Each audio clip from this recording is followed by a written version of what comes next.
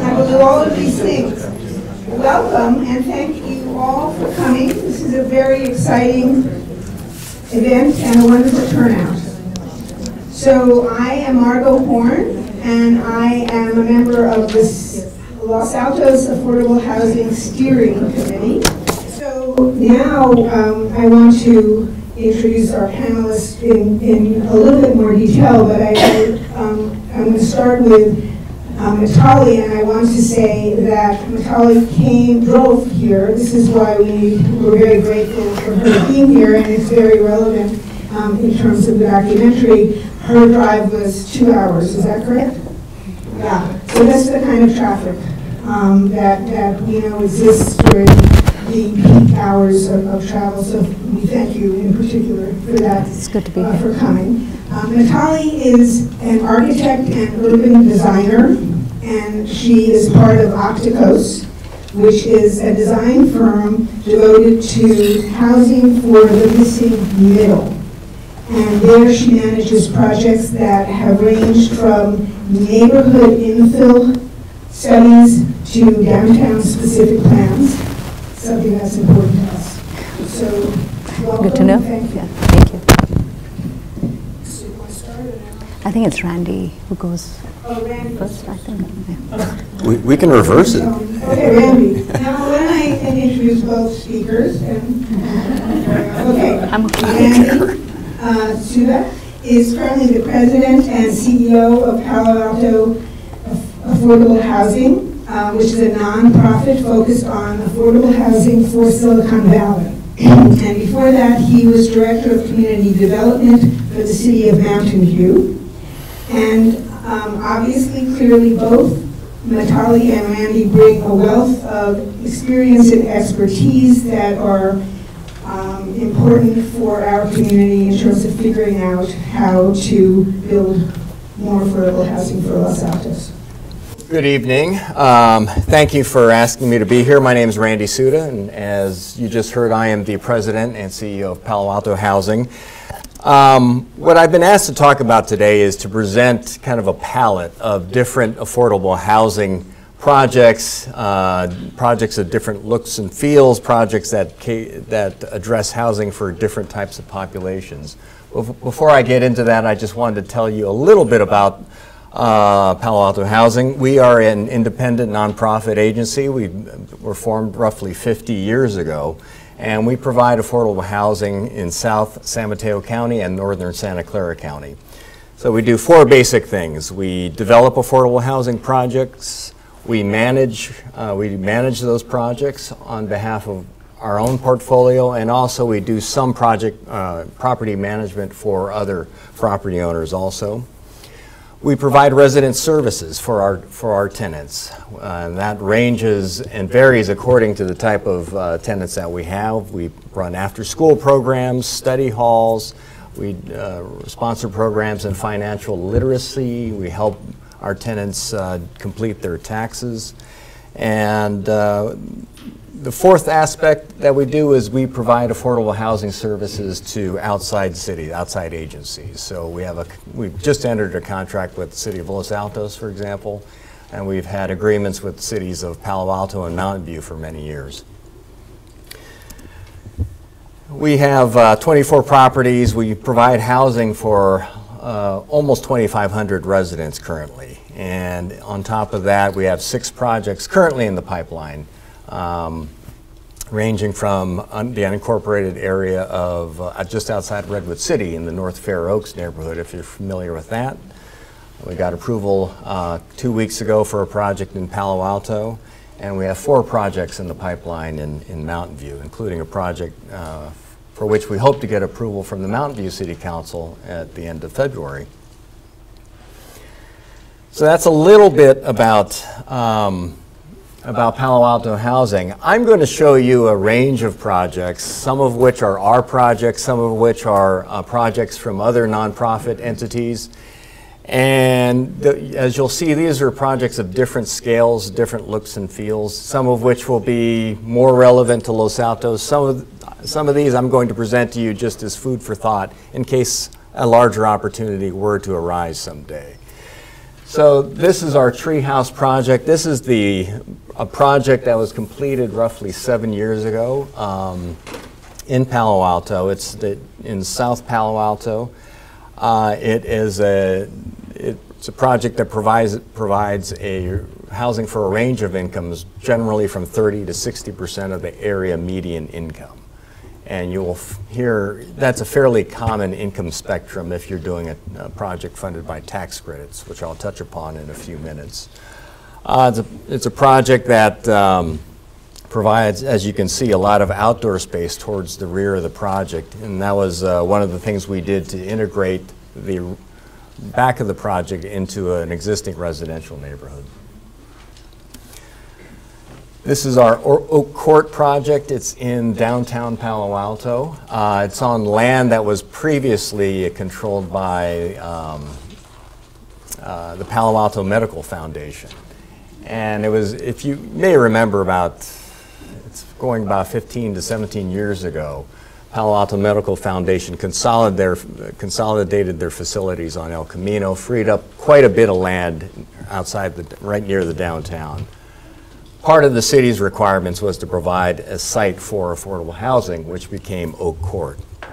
And in this case, there was a historic uh, house that existed on the property, which was renovated and preserved and is now serves as the community room, both for our residents and uh, access is provided to uh, groups outside of Palo Alto Housing. In fact, it's where we have our board meetings, so we, we get ample use of that, uh, of that facility, and we know it well.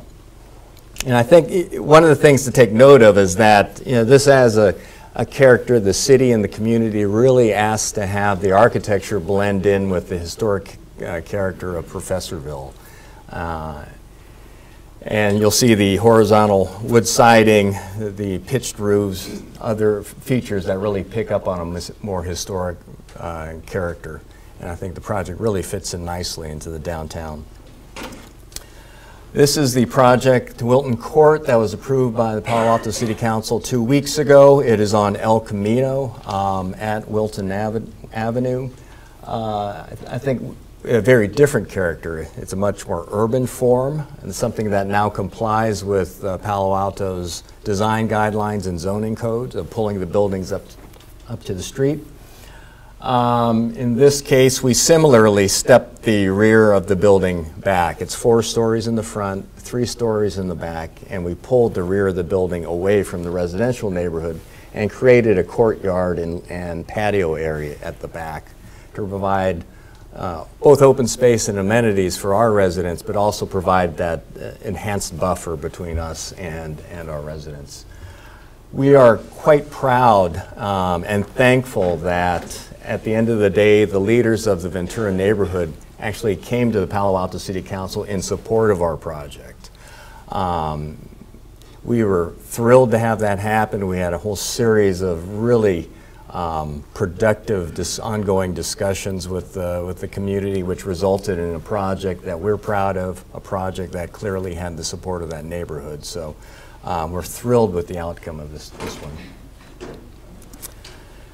This is a project we're going to be breaking ground on. And this is the project I referenced in the North Fair Oaks neighborhood, again on El Camino Real. Um, Another four-story project, a similar design concept where we carved the rear portion of the building away and, uh, and created another courtyard or a patio area. And the bottom corner, gives, that's the site plan, gives you a sense of how we tried to reduce the bulk of the rear portion of, the, of that project. But it, you know, the character of this project and the design, we used different architects, different materials. We followed the lead of staff, and in this case, the county of San, uh, county of San Mateo, to create a structure that they were comfortable with. Now, this is a project, it's an existing project in downtown Mountain View by uh, ROEM Development. It's been there, I'd say, for about seven years or so now. It's a project specifically for families. Uh, it, um, you may have, if you visit downtown Mountain View, you may have walked by or seen this project a number of times and probably had no way of knowing that it was an affordable housing project. Um, It's a project that is, as I said, specifically designed and targeted for um, lower income families with children. So there's a study room, there's a computer lab in there uh, where the equipment and computers were purchased in partnership with Google. There's um, a large, in this case, a very, very large community gathering area that's right offside, uh, right um, outside of the, uh, the open space area that has this indoor-outdoor feel where parents can actually be inside in the lounge area and still be monitoring their children that are, that are playing outside.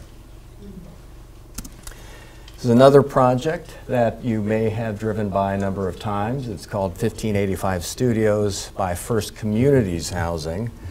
Um, it is um, it is between Castro and El Monte on the on the Los Altos side of El Camino. It is a project that is specifically uh, designed for adults with developmental disabilities. Um, these are folks that are members of our community, the Palo Alto community. These are uh, adults with developmental disabilities that have the capabil capability of living independently. They do not have caregivers on site. They do not live with their parents. This gives them the opportunity to have jobs, to live independently, learn, uh, learn life skills in an environment where they're supported and, and counseled and able to, able to provide a meaningful role in, in all of our communities. It's a similar, um, our Wilton Court project in Palo Alto also will have roughly 35% of the units targeted for adults with developmental disabilities in that project also. Now, to, leaping to a different scale, um, again, these are food for thought. Um, you never know when an opportunity may arise uh, or a partnership opportunity may come to the fore. Uh, this is a project that's still going through the review process in Mountain View. It is a partnership between Fort Bay Development and the Mountain View Whisman School District. In this case, originally the developer, uh, let me back up. I think one of the critical takeaways here is Mountain View has uh, clear affordable housing requirements and they have clear expectations around community benefits. The, that is the obligation of a developer to go above and beyond the minimum requirements of the zoning code and city policies to provide something else in a tangible way back to the community. This developer originally proposed uh, a roughly 120 to 140 unit affordable housing project, and that's the project identified with the arrow that is along Shoreline Boulevard. We approached the Mountain View, you, you may recall the Cooper Park signs that you've seen throughout the Mountain View community, Save Cooper Park. In response to that, we approached Fort Bay um, and asked them about potentially pursuing a partnership with the Mountain View Whisman School District. What the city gets out of this deal is an agreement to preserve the open space on the Cooper School. Um, Mountain View Whisman gets the potential to build 140 units of, of housing for staff and for teachers. And by discounting the, the ground, providing a discounted ground lease, discounted land value, the developer is then providing that community benefit that, all, that makes this all happen. It gets complicated as the developer, Fort Bay, walked away from a low income project. They're also walking away from tax credit funding. So fortunately, Mountain View Whisman was able to come, come to the table with certificate of participation financing. So they're essentially self-financing a lot of this project, leveraging off the discounted land that the, the developer is providing as a community benefit. So certificates of participation are essentially funded by the expected revenue stream from the rents that will be paid by their teachers and employees.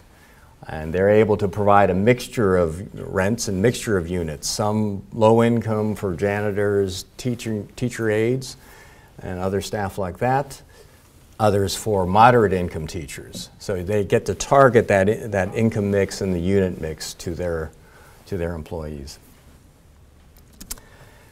That's the second uh, example of a project still going through the process in Redwood City. This is a partnership between Sobrato Development and Mid- MidPen Housing, another affordable housing developer.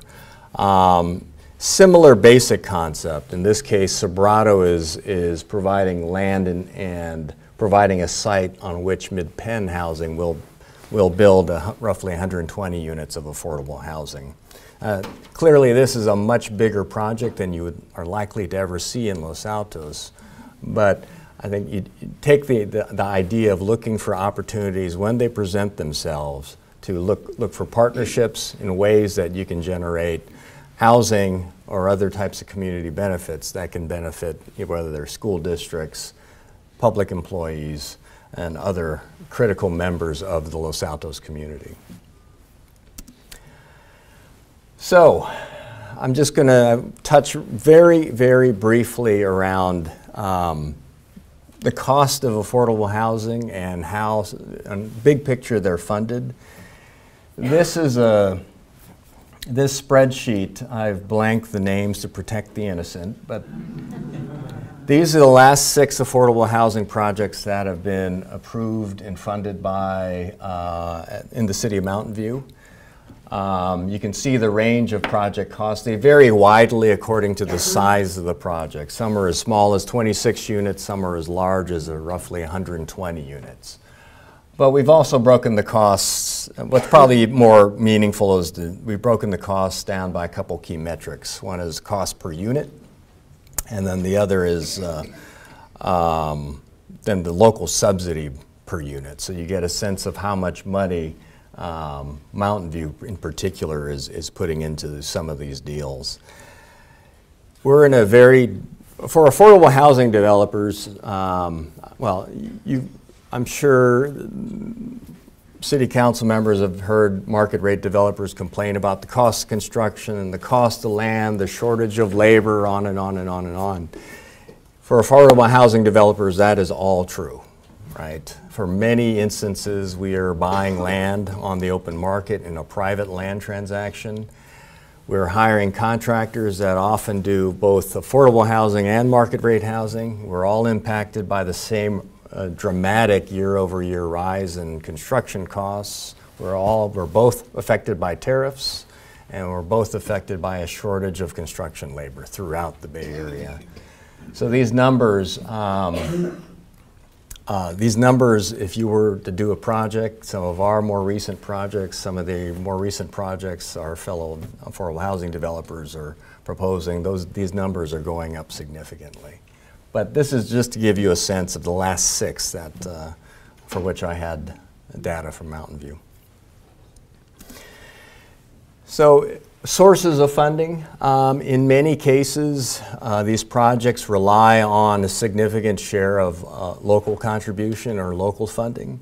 Here are some ways that communities have generated funds and revenues to support affordable housing. They range from fees on you know, non-residential development, fees levied on other market rate, uh, market rate residential projects, community benefits that I've referenced before.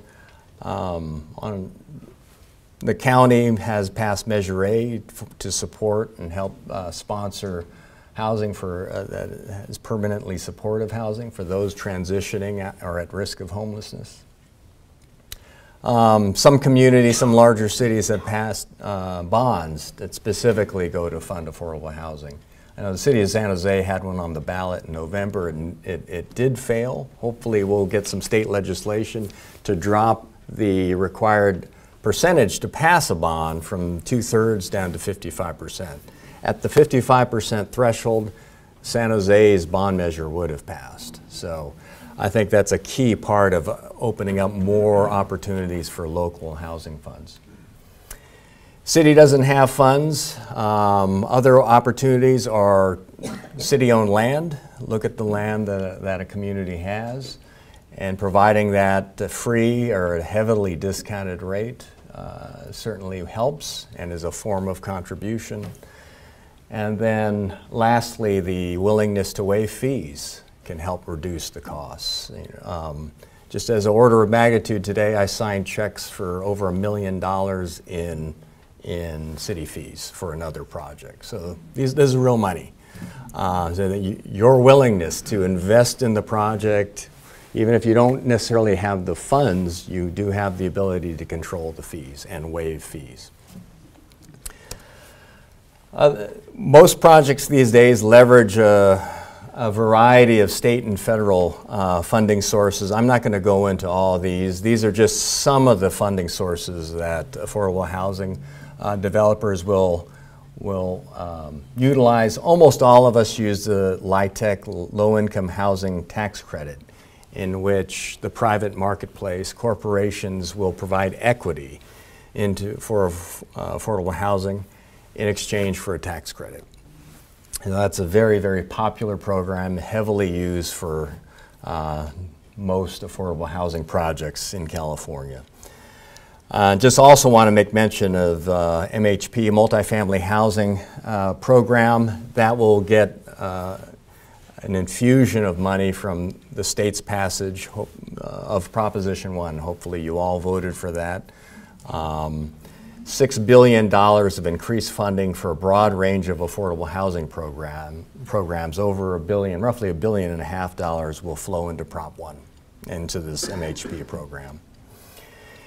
And I'm sure you've heard recently about the governor's budget message, which has an even greater commitment to provide affordable housing in various forms, both for uh, to, uh, in, to increase the availability of state housing tax credits, and also, I think importantly, opening up funds for local governments too, local governments that um, are meeting their housing obligations and local governments that wish to up, do some updated planning in anticipation of housing. And I think, as I, as I mentioned uh, last week at the leadership group, I think that's critical between the governor's proposal and the uh, Chan Zuckerberg initiative that funds be set aside specifically for local government. That gives agencies, the community, residents, the ability to craft plans to identify likely and desirable locations for housing create that vision and craft, craft plans that really can help mold a project, affordable housing project, into something that will work for your community, that is tailored for your community. So I leave you with that. It was a lot, a lot of examples, a panoply of way these, ways these projects are funded. Um, happy to answer questions afterwards. And at this point, I think I will yield the floor. How happy I am to be here. And especially after the two hour long commute, I was very happy to finally reach here. So, okay, so I'm here to talk about something that I feel very passionate about, and this is missing middle housing. And it's quite a mouthful, but we'll, and we'll be using it a lot, and we'll get into more of it. But essentially, it's a, it's a concept of introducing more housing. And uh, this is an effective way of addressing a bunch of housing related issues that we're facing in our cities and communities. So uh, we'll be doing a deeper dive into that. But first of all, let's look at what's happening in the country and let's try and understand the context. And uh, across the country, not just in some areas, but um, almost as a universal trend, we're finding that people are opting to live in areas which are more walkable. And by this, I don't necessarily mean downtown living. You know, that's for some people, not for everyone.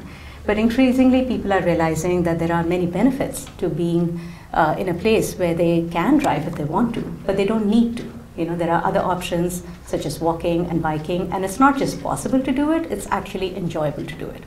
So that's where we're seeing a paradigm shift happening across the country in many different locations. And cities are also trying to prioritize walkability, and that's for many reasons. And this is because there are proven benefits to the health of a community. You know, you have a more active and a more vibrant community. It's safer because people start recognizing each other, and you know they they just find better ways of communicating with each other. And also, it's uh, we're in California, so it's also inherently uh, more environmentally responsible. You know, just to be investing more in the land that we already have instead of spreading out uh, as sprawl. But often we find that there's a major disconnect. And by that I mean that the housing industry is typically providing um, what I can categorize as city living or downtown living. And there is a place for it, but it's not the only solution for providing a walkable environment in different environments. What I'd like to talk about more is neighborhood living. And by this I mean, I'm sorry, it's a little bit of it is getting cut off, but um, I'm speaking out the titles, so I hope you won't miss anything. By neighborhood living, we mean what I think is a large demographic in the country who want to have their home, whether it's a single family home or a different type of home, with their little backyard and good schools, but also being able to walk to a corner grocery store or meet a friend for you know, coffee at another small place nearby, and all of this without having to drive. So, can we provide a walkable environment in these types of places, like at the neighborhood level? And that's what I want to try and discuss today with you. Also, we should try and understand what's happening in terms of demographics. And um, this is quite a sobering fact, which is that uh, within um, 2025, which is approximately 10 years or less from now, as many as 85% of households in the United States would not be households with children. And we're talking about millennials, we're talking about singles, we're talking about retirees and boomers, we're talking about single parents. And it's a very large group, and they have very diverse needs. And that need may not necessarily fit into only the predominant type that's being provided you know, by the housing market right now, which is either the single family home or you know, like a large mixed use or large residential, more urban scale kind of project. And also, you know, when we're talking about choices, there are very limited choices. And the reasons for this are many. You know, you either can live in, a, an entire block filled with townhomes, or you can get a detached single family home, or you can live again in a more urban scale apartment or a condominium block. And also, uh, tagging onto this is, you know, the affordability gap in housing. And I don't think it's too much of a stretch to call it a housing crisis. And it's not just in the Bay Area, it's becoming a nationwide phenomenon. And I find this particularly scary that, uh, again, within less than 10 years, we have as much as 15 million US households spending more than 50% of their income on rent or on, you know, paying down their mortgage. And uh, statistics show that the sustainable figure for this is not more than 30% of a family's income. So, how do we deal with this? And also, let's not forget uh, something which is actually great that we have an aging population, people are living longer, healthier, happier lives. But this group is increasingly more and more vulnerable to this problem of housing affordability. And uh, again, these figures are from a website um, which is called Home. Home.one, that as many as 10,000 baby boomers are retiring every day for the next 15 years. So, where will these people go? And if you can just see, I think it's almost laughable uh, that if you just have $1,300 coming in the form of Social Security um, dividends to you at the, after retirement, there's almost nothing that you can afford uh, to do with that. So, so the crisis is real, and um, what can be a solution? So there is obviously no one magic bullet which can you know, solve all these different but related um, housing issues. But we feel something worth exploring is the concept of missing middle housing. So what exactly is it? And um, first of all, if you look at the diagram, the buildings on the edges that you see, you know, those uh, more grayish, purplish kind of buildings, that is what is being readily provided by the housing market right now. We have a wide variety of single family homes, and we have again the urban mixed use or urban residential buildings that are being provided. But this wide variety of possible housing types in the middle is something that is just not being produced anymore. And the reasons for this is interesting because we used to have this. This is not a new concept. And if we look at any city which was built prior to the 1940s, we find them. And uh, you know, it's it, it, could be a duplex, it could be a multiplex, it could be a live work unit or a cottage court. The names are different, but we see them in small communities and we see them in larger cities. These are examples from Dallas, Texas, from Minneapolis in Minnesota, this is Denver, Colorado. This is New Orleans. So by showing you these images, what I'm trying to say is that it's not an East Coast phenomenon or a West Coast phenomenon or a small city or a big city phenomenon. These housing types existed. And they are housing types that developed in an organic and in a natural manner over the course of cities growing and developing. But when around the 1940s when people chose to move to the suburbs and um, you know, the city centers lost all the interest and investment from our policymakers, these were the types that uh, performed best in the urban core or in the city core or in the centers of all our communities. And once, now that the trend has reversed and people don't want to live in the suburbs and many people are moving back into downtowns and into the centers of our communities, we've lost that knowledge because for the last 50 years we've not been building this. So this is actually what we try and call it, uh, call missing middle housing. It's house scale buildings. It's multiple units in a building, so it's multi-family housing, but it looks like a house and it feels like a house and it fits in very well within established residential neighborhoods. If you were to walk past some of these houses, you may not even notice that it can house as many as four units because it just looks like a house and it feels appropriate in that, in that context. So what are some, I'm going to just break down some of the characteristics of what we call missing middle housing. And first of all, walkable context. You know, I just started by saying how walkability is an important aspect, you know, of our cities and it, there is a clear trend preferring that. But missing middle performs best when you have a walkable context because the entire premise is that people are choosing to live in these kind of homes and they're giving up the amenity of having a large home or a large space and they're trading it for the amenity of being in a place where they can walk and access amenities in an easy manner. So walkable context is key. And by walking, of course, I'm not talking about recreation or like walking for exercise. I'm talking about what could be called destinational walking, that you're walking to carry out your daily chores, you're walking to meet a friend, you're dropping off your dry cleaning or taking your child to piano lessons, but you have a choice of being able to do that by simply walking and not just having to drive. So as people make a conscious choice to live in such environments, we find that you know a walkable context is important just to support this kind of housing, and it's a mutually reinforcing relationship because you know all these things that we like of having a, a corner grocery store or having a small drugstore where you can just you know go and pick up something that you forgot, like you know you did your groceries but you forgot the milk and you don't want to drive all the way back to Safeway or Whole Foods, but there is a corner store where you can just go and pick up something. Similarly, a small cafe or a small restaurant. But these kind of amenities are not possible unless we have a certain minimum threshold of households. And in terms of density, even though we don't like to use that word a lot, it's almost like a density of 15 to 16 dwelling units an acre. And you just can't achieve that and still maintain the look and feel of a neighborhood if you don't use building types such as missing middle. And uh, another important characteristic is uh, that they are small footprint buildings. They're not big imposing structures. And by small, I don't mean tiny home small. You know, there's a place for that, but this is not it. But we're talking about buildings such as this, and this is a duplex, and it's just two homes, and again, you could walk by without realizing that there are two homes. They're two smaller homes.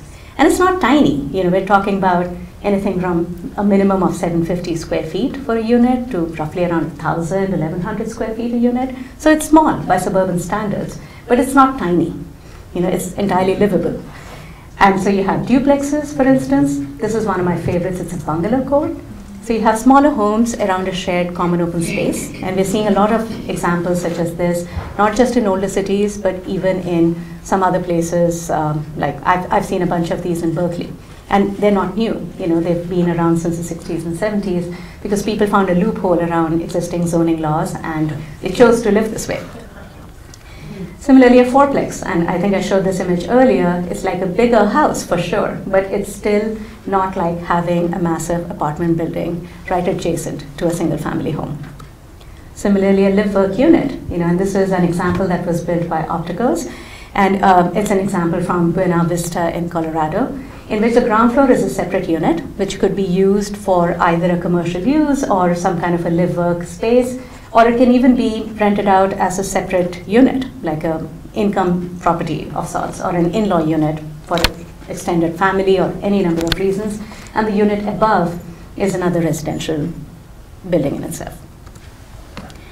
And pretty much at the upper end of the missing middle scale is um, this example of courtyard apartments. So yes, this is bigger than some of the other examples that we saw, but even then, I wouldn't say it would feel completely out of place in a traditional single family residential neighborhood. So by showing you these, what I'm trying to again point out is that many of these actually have far higher densities than what we typically think of when we look at apartments. This is actually 50 dwelling units per acre, but it doesn't look that way and it doesn't feel that way. So often it's a mistake, you know, which is commonly made and repeated even by, you know, uh, professionals in the field that, you know, we start the conversation with density. But density is just a number. You know, what we feel uh, is more important and more relevant for people is to think about the form and the character of what we're talking about. And then we, density becomes an output. It doesn't become the starting point of the conversation. And yes, um, the most uh, pertinent part about this is again lower perceived density. And why is this important? Uh, simply because of what we just discussed, that people often get scared of density. And for good reason, because often for some people, you know, this feels too much.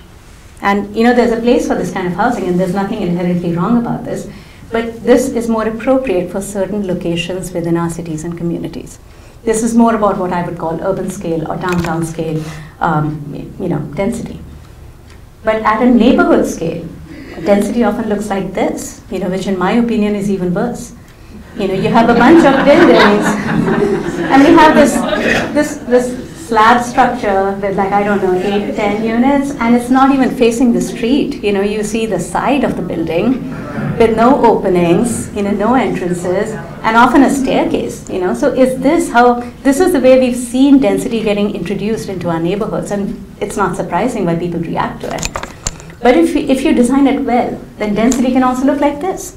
You know, each of these types has a density higher than the preceding slide that you saw, but it's much more appropriate, you know, for certain residential contexts. And well-designed units. And why is this important? Because we're choosing to have smaller units. So if a smaller unit has to sell at different price points for different user groups, then it needs to be designed well. And I think even Randy would agree that you know, the true challenge of architecture is designing a really well-designed smaller unit because you can do a lot more if you've got more space. But by a smaller unit, do, we don't necessarily mean that it is low income. It can be, you know, it's not just for the lower end of the housing market. You can have a well-designed unit and outfit it with, you know, higher quality finishes and higher high-end appliances, and you can in fact, we have some developers uh, that have tried this to have the same unit plan, but outfitted with these different finishes and appliances at completely different price points, but within the same building. So that could be a very interesting way of trying to get you know, diversity of income groups to actually live in really close proximity. I don't know how well that'll work out, but you know, it's possible, is what I'm saying. And uh, I think this is a favorite topic for almost everyone in the South Bay, parking. And people often get scared, you know, and this is related to density that, oh, you know, we're going to add 100 more people in my neighborhood. Where are they going to park? You know, and if we think about many of our single family neighborhoods, there are zoning, um, there are zoning rules in place and minimum parking requirements. And often it's something like two or two and a half spaces per unit. And so people automatically think that, you know, where will these 300 new cars go? But the reality is that these are these are attracting a certain kind of population. You know, people who are moving to these homes because they don't want to have two cars. And that's why the walkable context is important because the two of them reinforce each other. So our opinion, I mean as professionals, is that you have limited land if you want to just reinvest in your cities. So we can choose either to house people or house cars or maybe, you know, invest in parks more. But, you know, it's, it's just that Often, research shows that the burden on the city in terms of additional parking is nowhere near what people fear it might be when missing middle is introduced into a neighborhood. And also inherently because they're smaller units and they take less land and they're typically not more than three or four floors in height, they're simple construction. And by that I mean it's also cheaper to build.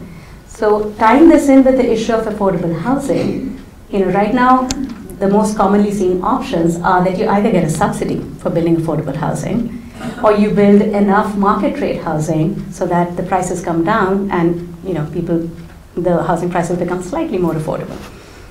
But what I'd like to suggest is that missing middle can potentially fill this gap in between because it's cheaper to build, the land costs are lower, these are smaller units, and it's also a way of not having a big project happen all at once in a neighborhood, but it can be local and it can be incremental.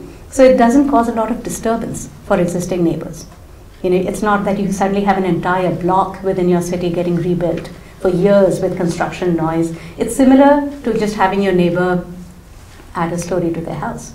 And that is, you know, one, one uh, reason why missing middle is often easier to sell to a community who's not in favor of increasing too much housing in their neighborhoods. And this is an example that I'd like to discuss. This was a project done by Opticos. Uh, this is called the Muse Housing Project, and it's in Daybreak, Utah. So uh, it, the interesting story was that we were approached by a developer because uh, they did their market analysis and they found that they could not, uh, you know, get anything built and sold for any kind of profit below the $200,000 threshold. And they saw a lot of buyer interest, especially from single professional women, but there was just nothing that they could build for anything lower than that price point of a townhouse. So this was a modified townhome, which is again an innovative kind of missing middle um, uh, missing middle housing, which came in at a price point of 199,000. This became one of the top selling types of housing within that development, and it was a win-win for both people because buyers could finally get something and get, uh, you know, like a, a piece of land that they call their own in a safe and welcoming environment. But at the same time, this also got the second highest sales price per square foot for the developer. And circling back to the issue of community. So when you have missing middle housing, you know, it's automatically leading to a certain kind of a community. You have a diversity of income groups, people with diverse backgrounds, you have different ages, so having this kind of a community is automatically supported by a concept such as missing middle housing.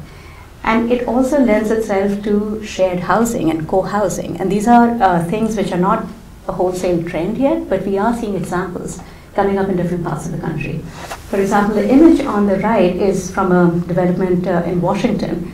And this is again a missing middle type in which you have smaller units which just have a kitchenette but there's a shared open space, a shared community space, and a shared kitchen. And it got sold out within six months of it being on the market. And this is not low income. This is often boomers and retirees, some single professionals who want that sense of safety and community and who don't want a cheap unit, you know, but they also don't want a large unit. They want something that they can maintain and they still get all the benefits that they're looking for. And in particular, I also want to talk about the issue of our elders. You know, we've been recently doing a lot of work with the AARP, and as we have an aging population, it's almost sad that there aren't that many housing options that are available, you know, to our parents and our grandparents. You know, you try and live in a single family home till you really can't. And you know, your keys need to be taken away in some cases, and then you end up in a you know, senior living facility. And uh, we feel that there are many benefits, and there's enough research to support this, that there are many benefits to aging in place. And this is becoming a concept that is being really promoted by the AARP. And there are mental health benefits for the people involved, and it's just a it's just a nicer way to be. That someone who's lived in a neighborhood for 30, 40 years shouldn't feel that they have to move out just because they cannot maintain or they don't want to maintain their large single family home anymore with a big backyard. You know, so there should be options that they can move to maybe a smaller unit, but within the same neighborhood. So they retain that sense of community, you know, especially at an age where you don't have the time and patience to make a whole bunch of new friends. So that's why I think missing middle is. so it's not just you know the typical groups that we think about that you know affordable like this is affordability by design right that's what missing middle is all about it's not just the typical groups that we think about that workforce housing our teachers and our first responders it's also this demographic and this is a huge demographic, and it's just going to grow over the next 10 or 20 years. So what do we do? You know, and do we consider them as a key group to cater to?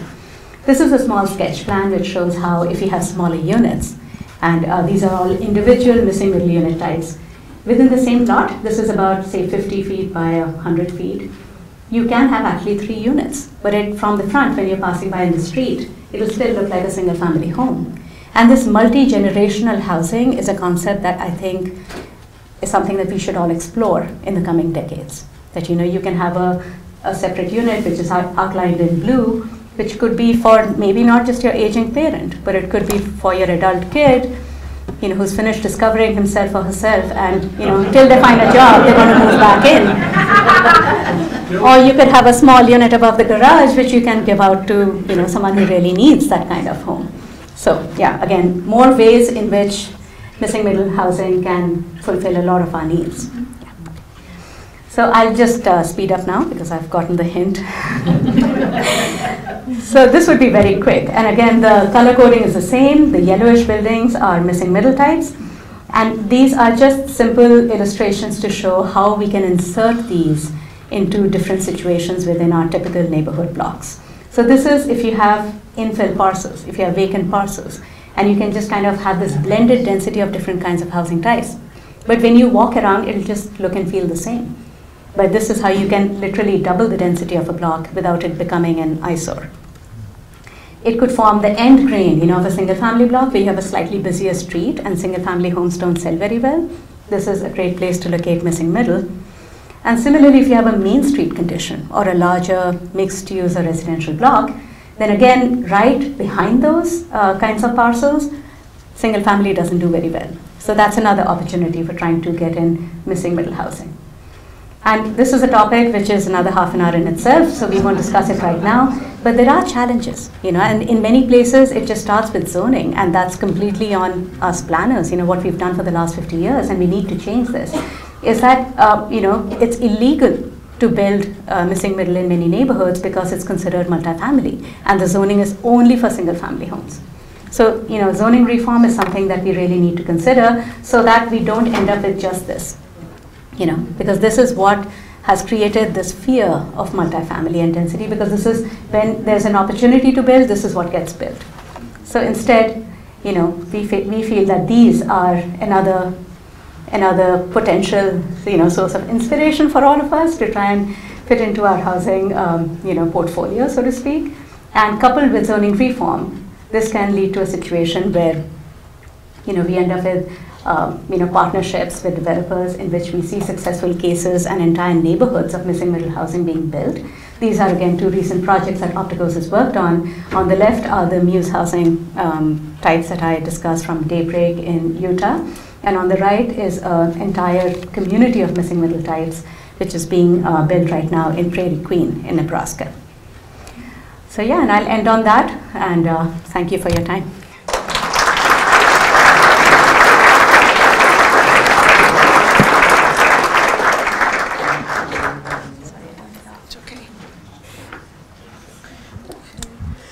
So, that was fantastic. Thank you both. The title, as you might remember, of this uh, evening's event is uh, Ideas, Affordable Housing, Ideas for Los Altos. And I think we've gotten a lot of fantastic ideas. And now um, is the time for your questions. And I'm going to actually ask Randy, I'm going to take the moderator's uh, privilege and ask Randy um, if you would please tell us, tell the group about the example uh, from Jackson Hole that you mentioned um, as something that's very uh, outside of the box and creative, if you will. And then we'll. So this is a, uh, something we talked about over dinner not too long ago. Is um, not necessarily specifically about affordable housing, but the, the discussion was really about how do we leverage a, a leverage public land and a public project to serve multiple objectives, to realize multiple objectives.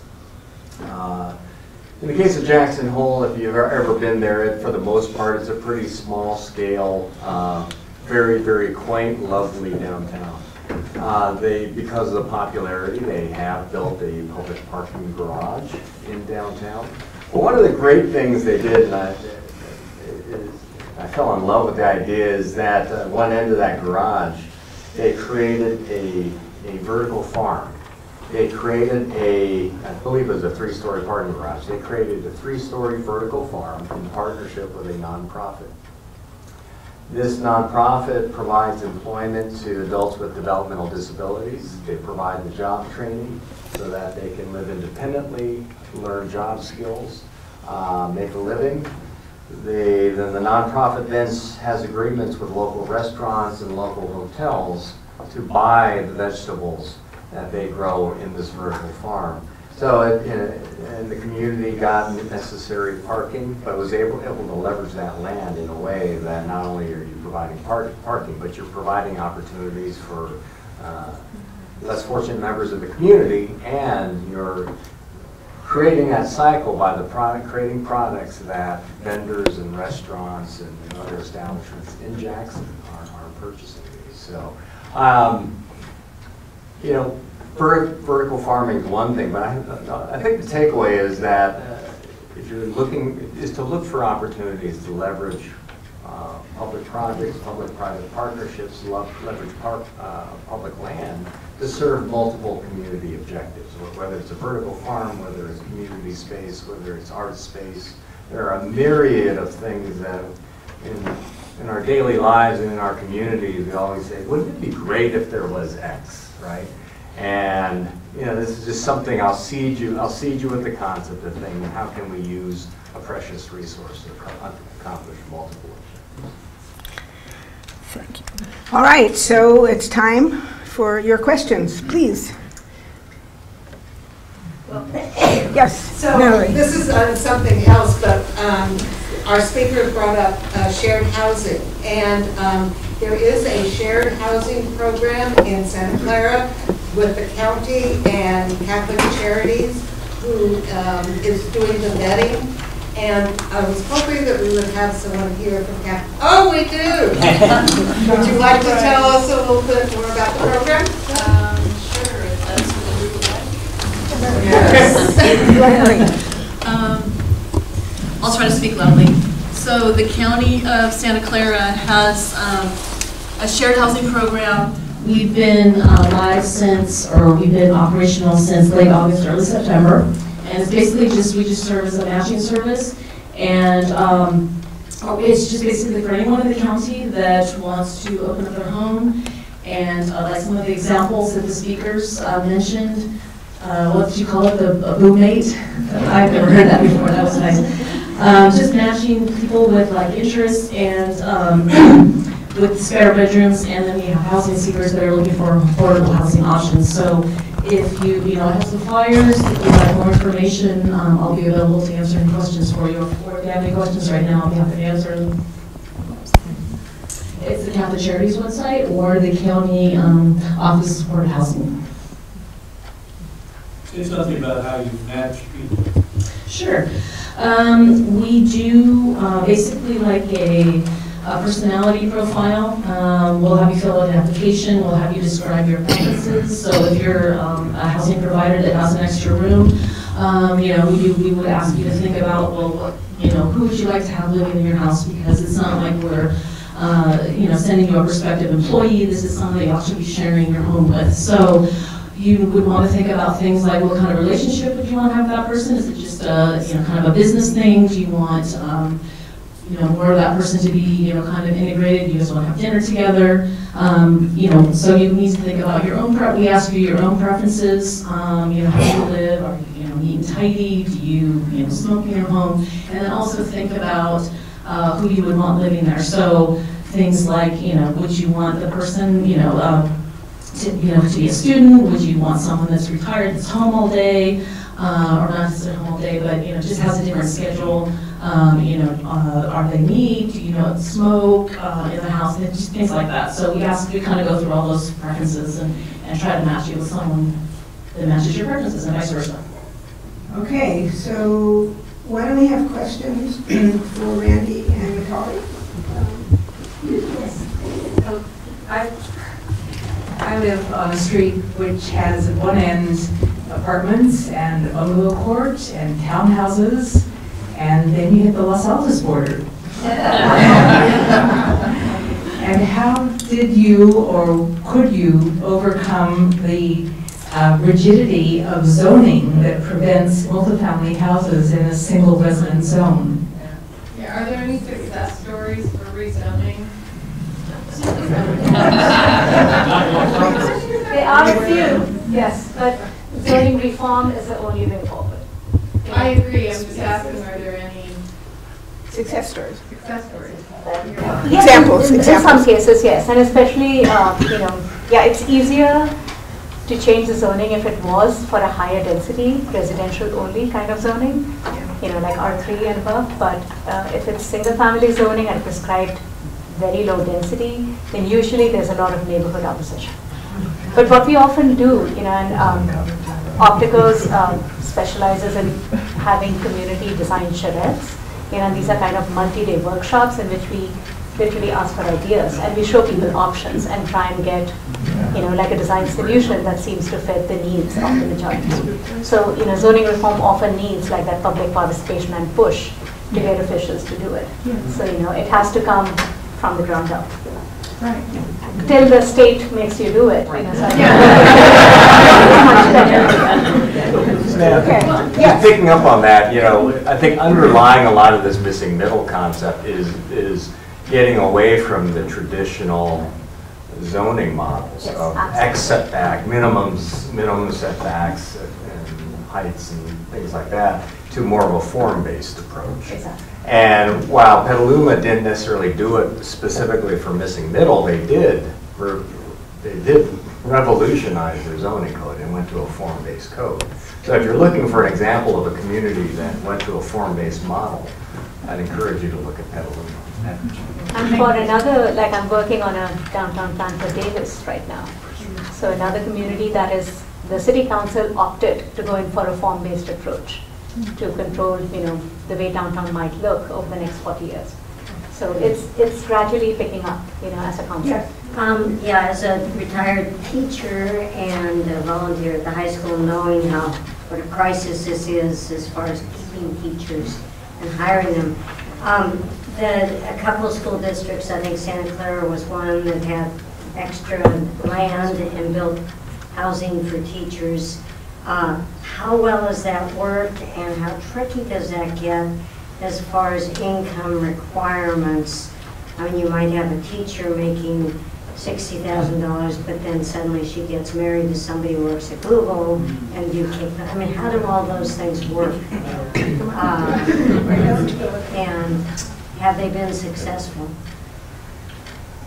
Um, My understanding is the Santa Clara program has been quite successful. I think, you know, to your comment about, you know, about the, the incomes and households and all that, I think that's something very critical to pay attention to. I I know of a large school district in this state that shall go unnamed that made a critical mistake and realized it would have great difficulty filling their project, their, their teacher housing project, because the income levels were too restrictive. And this was largely driven by the way they funded the project. So, um, I think, know, it's really critical to take that into account. Of course, you know, districts here, the Los Altos School District and Los Altos Mountain View the school district are very aware of, they're very aware of their teacher salaries, those income ranges, and should they ever do a, a teacher housing project, they're- that's already front of mind. Okay, Jeannie?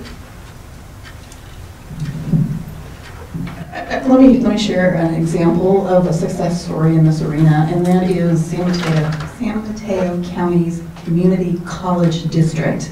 Okay, um, they in 2002 started exploration, and in 2005, they actually built some employee housing um, on one of their campuses, uh, the San Mateo uh, campus. And um, since then, they've also built one on the Cañada campus, and they're now in the um, final stages of approving the Belmont campus. But what they did is they carved off two acres and they built employee housing. And how they handle this is actually kind of unique because in the city of Los Altos, when a developer is building affordable housing, they have to designate specific units in there.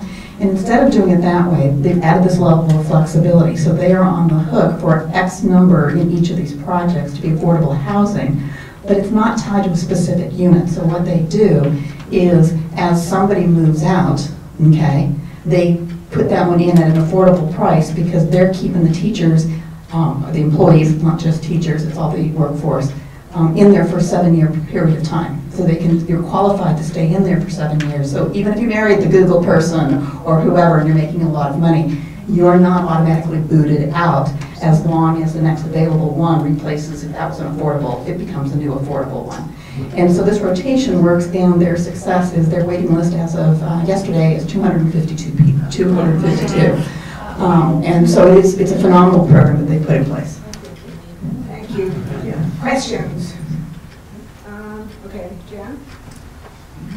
So, um, question for Randy. I'd like to understand better the economics of some of the newer projects that you've done. Because it, it looks like you did not build those on city land, for example, example, in Wilton Court, one that you had to pay market rate for property in Palo Alto. And the whole project, however, is affordable. So can you talk a little bit about that? And can you also comment on community benefits? I think in Los Altos, we, uh, we get taken advantage of. We don't really understand how much we can ask for in terms of community benefits. So can you give us some ideas of how far we can push developers to really do something substantial if they're building uh, both market rate and affordable units in a project? Well, I'll start with the community benefits first. Um, I'd really, for any city, and I've told this to many, many cities now that I've talked about, talk about Mountain Views, is the, the key part of many parts of Mountain View is that we undertook the uh, economic analysis to define what that community benefit ought to be. So looking at the expected returns and looking at what is a reasonable sharing of those, of that financial return between the private landowner, developer, and, and the community. So it's, uh, for areas like San Antonio and El Camino, um, it's underpinned by a financial analysis, doing the same thing in the East Whisman area. In areas where, uh, the, the exception to that rule in Mountain View is when a developer is proposing a general plan amendment or a zone change, then those rules don't apply, and those are done on a case-by-case basis. Uh, Sometimes those are done through through a project-specific economic analysis. Sometimes those are do- done uh, strictly through a negotiation. Um, But if you're building on El Camino or San Antonio, East Whisman, th- that's a defined amount that's uh, based on economic analysis that the council has adopted. So that gives a level of predictability of what that fair share is. Then the council can make the decision of priorities of how that money should be targeted. In any given year, do they want it to go towards open space, to traffic calming, pedestrian and bike improvements, you name it. Um, You were asking about uh, funding some of our recent project. So Wilton Court, um, we're almost fully funded. Um, We are roughly, we have a funding gap of roughly three and a half million dollars, and we believe we know how we're gonna get that money, but it's uh, not official yet. We have about nine, we have about, we're about ninety percent of the way to being able to start the project. That's a combination, we're expecting to get a little over ten million dollars from the city of Palo Alto. We're utilizing low-income tax credits. Uh, We were hoping, we are hoping to get some funding from the county of Santa Clara for, uh, uh, for that, that component of the project that houses the developmentally disabled. We've been, uh, our board chair has been working closely with uh, Joe Simitian's office to embed that into the county's upcoming budget. So we're very, very hopeful. There's a couple other small, smaller funding sources, but that's the bulk of it. Um, yeah. So I think the takeaway there is that most of these projects, these days, you have to cobble together multiple funding sources to make them work. More questions? Um, I think your hand was up. Um, How does this concept of multifamily housing intersect with the concept of accessory dwelling units?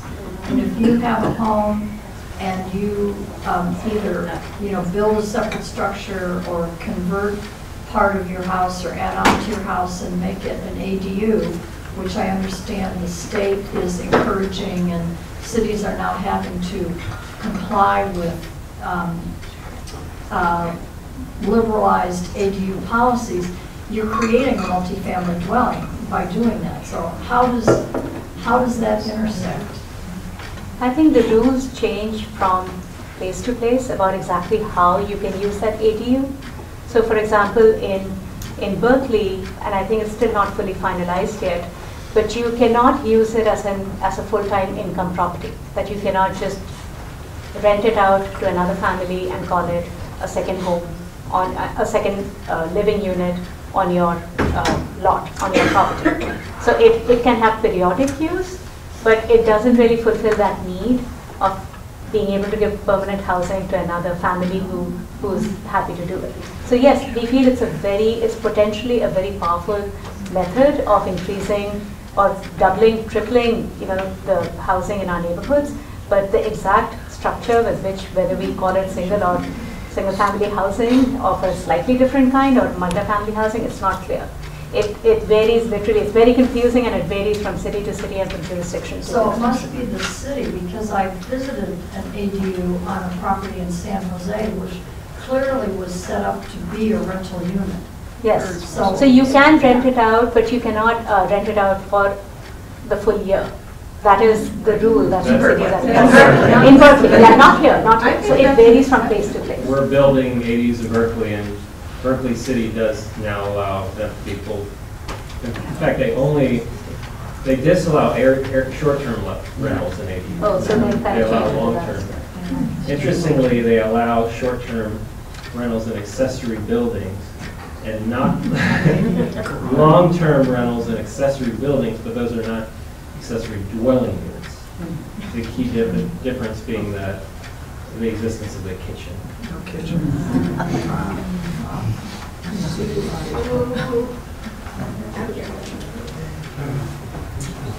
Sadly, Los Altos never created buffer zoning, so that those houses that are behind all the buildings now being done on El Camino are all single-family. In other communities, they might have been duplexes or triplexes. Los Altos continues to force single-family housing on very busy streets. For example, the two houses we did at Grant Road and Fremont Road, we begged to do duplexes. So is there a question, a question? It is a question. Randy, you especially, can we fix the lack of buffer zoning? Can we offer to some of these strip neighborhoods the ability to be more than single family?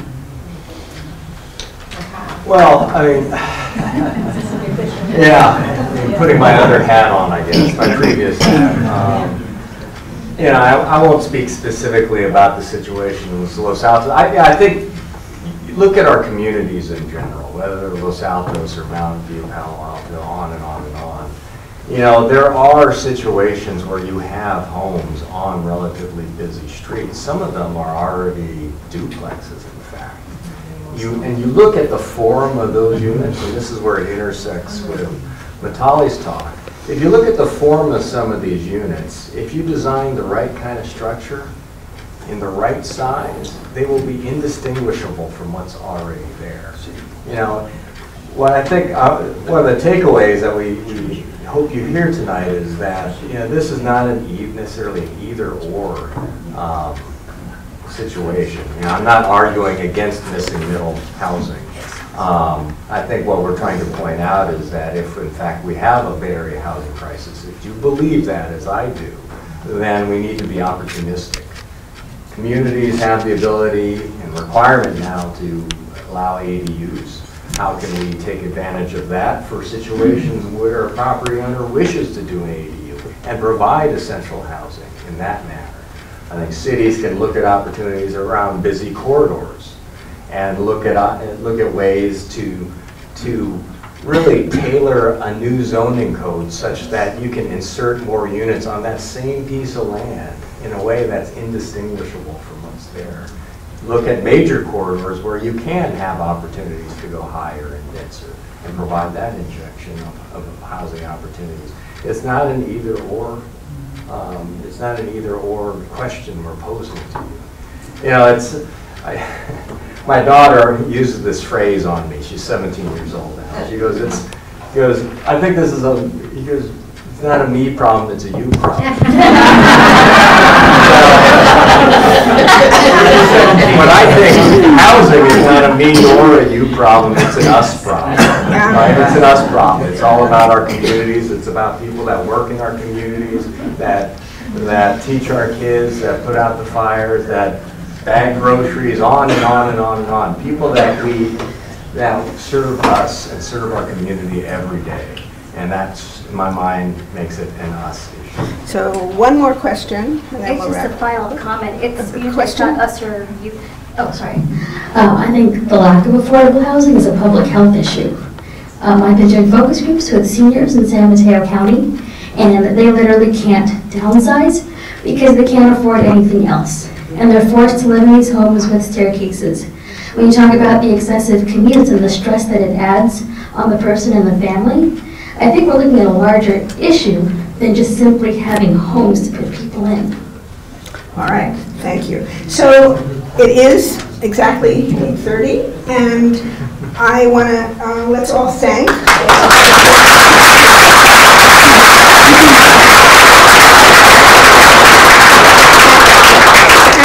Thank everybody who came, and to remind you that the uh, Los Altos Affordable Housing Working Group has a website, and we'd love to hear from you, and we're going to have um, continued events, and we'd like to know what topics you'd like to hear about. Um, One idea is something on, on ADUs. Sign-in. Make sure, please, to sign in, especially if you're not on our mailing list. And, excuse me, thank you very much.